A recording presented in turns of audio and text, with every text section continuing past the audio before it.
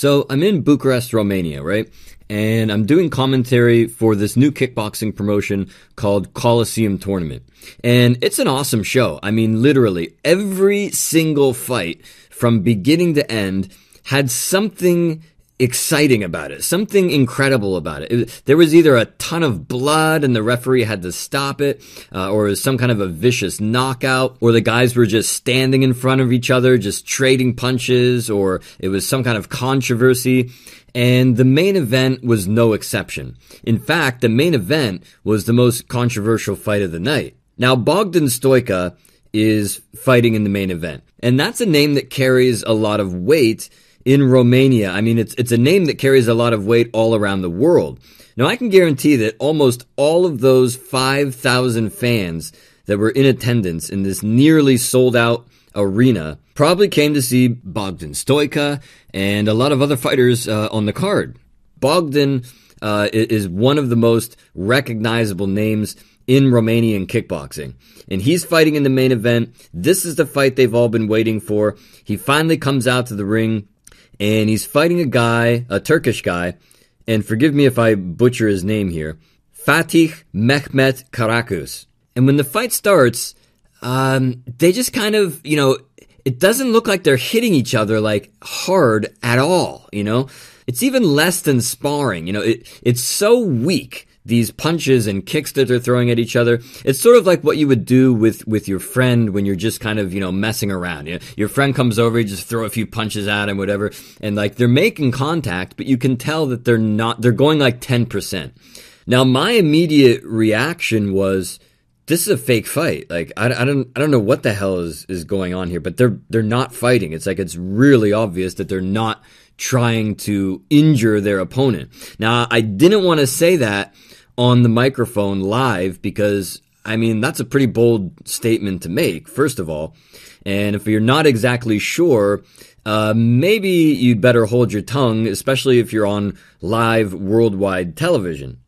But the crowd pretty much, you know, did the talking for me. I mean, they start whistling and booing and hissing. People are standing up and you can feel that the atmosphere in the arena is really starting to get nasty right now. I mean, I, have heard stories from old time uh, pro wrestlers who've told me that, like back in the day, you know, in the in the '60s and the '70s, uh, even into the early '80s, that the fans, when they got mad, they would riot. And sometimes you know they would try to kill the wrestlers and like they'd have to wait in the building backstage for like hours because the fans were outside. They wanted to kill these guys and that's what's going through my mind when I see this happening. I'm like, oh my God, there could be a riot. Things could start getting thrown towards the ring, and I'd better, you know, be careful here.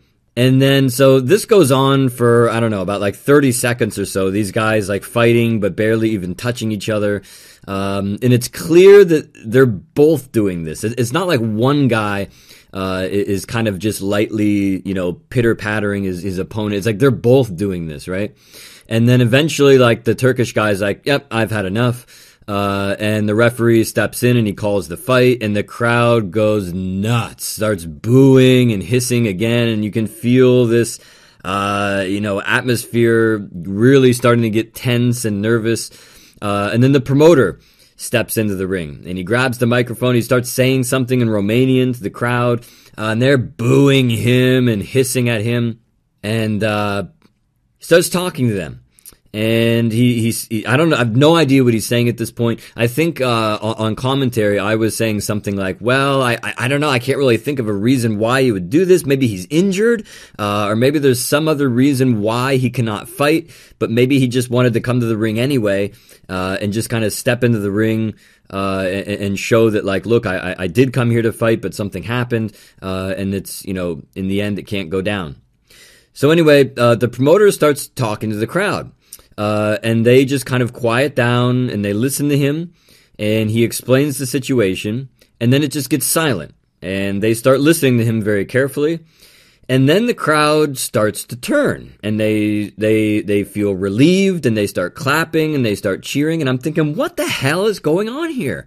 And then the judge, uh, one of the judges who's sitting next to me at ringside, leans over and says hey, this guy, uh, he said that this guy's father just died just a few hours ago before the fight. And I'm like, oh my God, man. Like, so, you know, I think all those fans who were booing and, and were really mad were kind of like, oh, gee, well, why didn't you just tell us, you know? Because look, we, we saw what was happening in the, in the ring and, uh, yeah. And so after that, you know, I think the crowd could really, you know, respect this guy because even though literally like when he got to the arena probably probably about the time when he was arriving at the arena to get his hands taped you know and and to you know do kind of walkthroughs of the entrances and things of that nature he was informed that his father had died.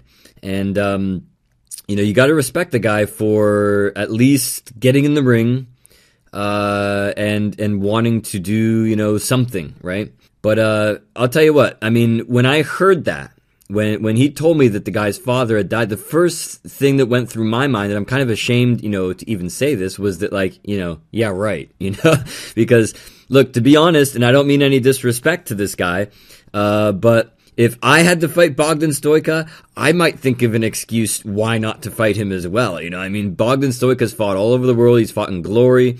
Uh, he's fought in China. He's fought for Super Combat. Uh, and he's a really, really top level fighter.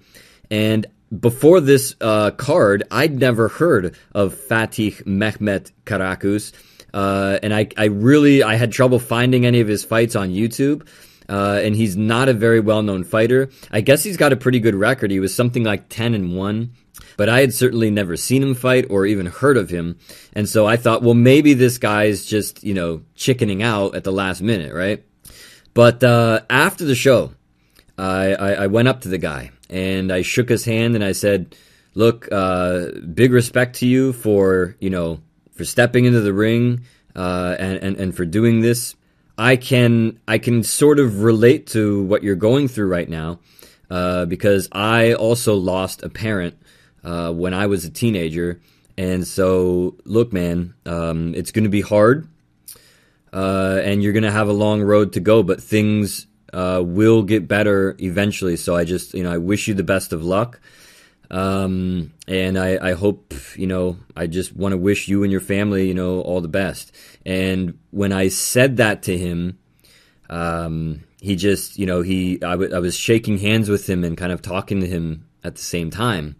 And I could feel him just squeeze my hand, you know, stronger and stronger as I was, I was, as I was saying that to him and I could see the look on his face um, when I said that, and I think that told me right there that what what this guy said was was the truth, and that um, man, I just I wish the guy all the best because I know it's it's going to be really really rough. Uh, for the, for him, he, he was a young man. He looked like he was probably in his early twenties, mid twenties uh, at the latest, and it's it, it's never a good time, you know, to to lose your father. Uh, but I can't imagine it happening um, literally just a few hours before you're supposed to fight uh, one of the most dangerous kickboxers in Europe. So uh, I, I, can imagine that there were probably a lot of disappointed fans uh, in the audience and watching on television at home. But I think that everybody should be able to understand what happened uh, and and respect Fatih's uh, decision not to fight. I did see Andrei Stoica after the show, and I, I did have a short interview with him, and uh, this is what he had to say uh, about what happened. Uh, hello, first of all. You know, it's a situation that uh, I hope I will never get through this, never in my life. So I understand the Turkish fighter. You know, unfortunate for the for, for all the fans who wanted to see this fight because Bogdan is an incredible fighter and a spectacular one. But uh, I'm sure next time it will be a great event. Uh, in in many promotions, uh, uh some unfortunate uh, uh, situation like that happened many times. So we don't we don't have to judge anyone. Do you think that there's going to be a rematch soon between these two, or does Bogdan just move on to the next thing? Um, I don't know. I hope I, I, hope I will see a fight between them because the Turkish fighter is a very good one. So I hope I will see that fight. Uh, what did it look like uh, before the fight with your preparation with Bogdan? Did he look like he was in good shape for this fight and he was ready to go? Bogdan, uh, he's he, he's always ready for any fight, uh, any upcoming fight. So he, he was very good. Yeah, he was very prepared, very focused. So I'm so sorry. What about you? When can we expect to see you in the ring again? Uh, I'm gonna fight in uh, Holland, Almere. Know, uh, uh, when uh, Melvin Melvin Manhoef will have a fight with Remy Bonjasky in 29 October. His last kickboxing fight, and there will be a co-main event there. Uh, I'll have a great fight with Sahak Parparyan. I hardly wait for it.